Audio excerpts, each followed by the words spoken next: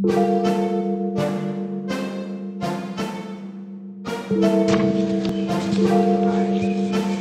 de Janeiro. A gente estava voltando do treino e a gente pedindo, pô Zé, acaba o treino um pouquinho mais cedo, a gente quer saber. É, quero assistir, quero acompanhar. Eu estava no hotel com a seleção brasileira, rodeada de, de alguns amigos lá da, do time e comemorei como se tivesse, sei lá, sido um gol do Brasil, se tivesse uma conquista.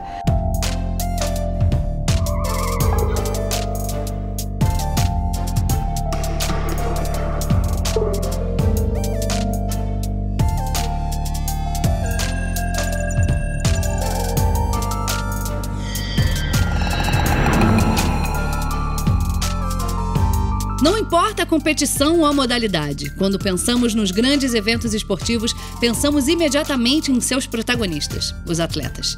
Eles são os donos do espetáculo e a própria razão de existência de toda a indústria. Para vencer Copas e Olimpíadas, as nações investem pesado na formação e no aperfeiçoamento dos atletas que brilharão em suas futuras edições.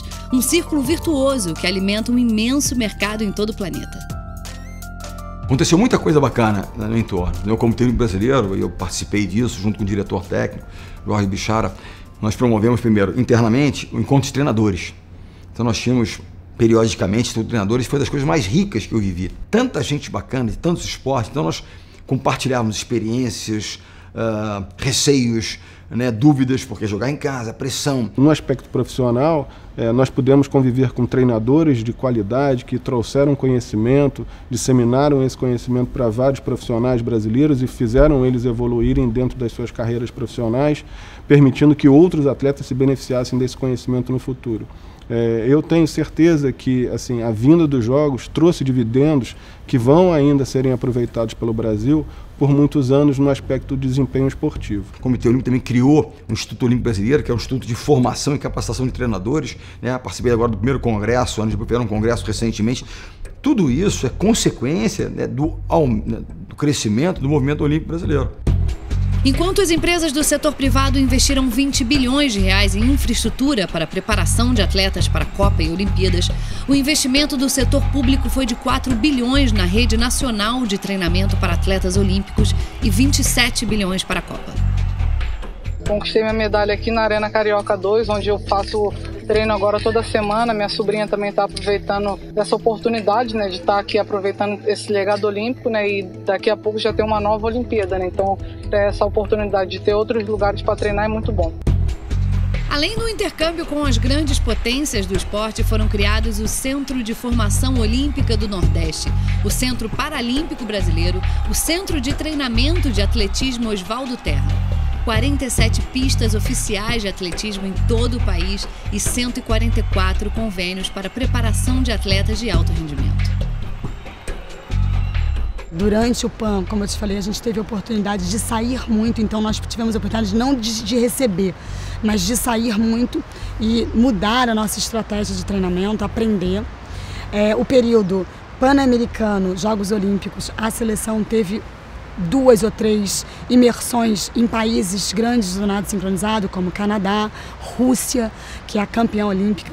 Então, elas voltaram de lá com uma expertise, com conhecimento que mudou mais uma vez, acrescentou mais uma vez na nossa política, no nosso processo de treinamento. E os Jogos Olímpicos é, é, é, mágico, né? Porque você cai na água com a melhor do mundo, uma do lado da outra, na mesma piscina para fazer um aquecimento. Então a sua oportunidade de ver coisas que você nunca viu é ímpar. Né? E isso fica, isso realmente fica.